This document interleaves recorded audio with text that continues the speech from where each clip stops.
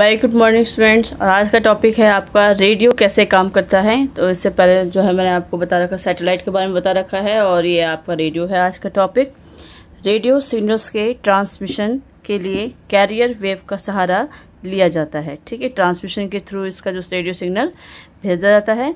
Radio waves electromagnetic spectrum का हिस्सा होता है।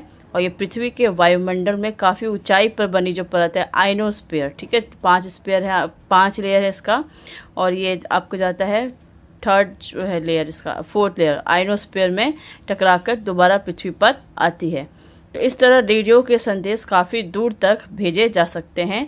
रेडियो ट्रांसमीटर रेडियो की वेव्स, ठीक है? रेडियो ट्रांसमीटर क्या करता है? रेडियो की वेव्स को बदलने में सक्षम होता है, जिससे सूचनाएँ हम तक पहुँचती है।